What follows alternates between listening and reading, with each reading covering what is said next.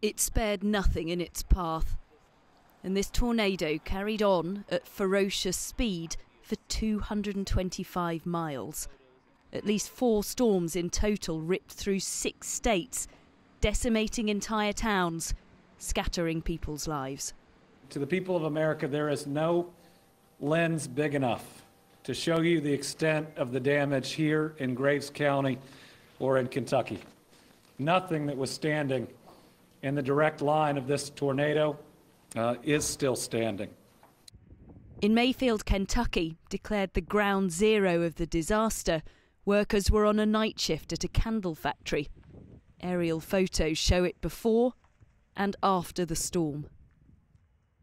The whole building was just gone in shambles.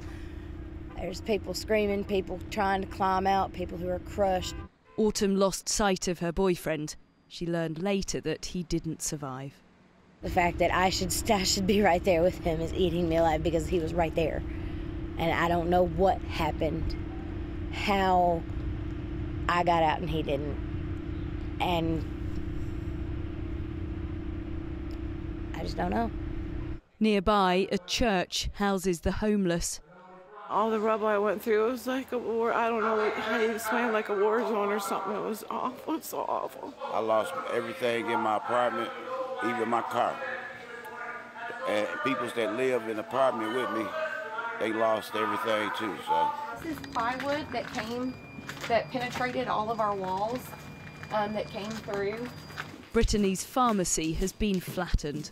You have so many people saying, "How can we help?" But it's almost like, where do you begin? Like, we have to move Earth to get all this cleared before we can even rebuild. Um, and when you talk about rebuilding an entire community, it's not like two businesses having to be rebuilt. We're going to have to rebuild a community. And Mayfield is just one of many dozen communities now living under a state of emergency, still counting the missing, confirming the dead, feared to number more than a hundred. Tessa Chapman, 5 News.